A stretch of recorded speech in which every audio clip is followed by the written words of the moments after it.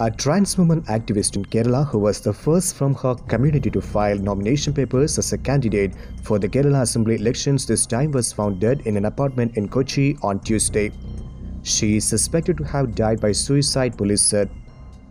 Anannyah Kumari Alex, 28, was a celebrity makeup artist, radio jockey, and a stage show anchor.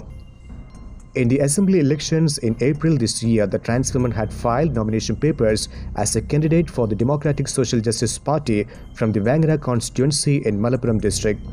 However, she had suspended her election campaign before the day of polling, alleging that she was being harassed by and receiving death threats from leaders of her own party. With the last day for withdrawal of nominations being over by then, she publicly issued an appeal asking people not to vote for the Democratic Social Justice Party.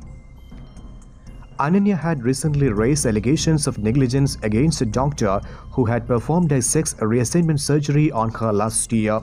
She had complained that even after a year of surgery being done, she was unable to work due to several physical pain. She was also reportedly under financial pressure.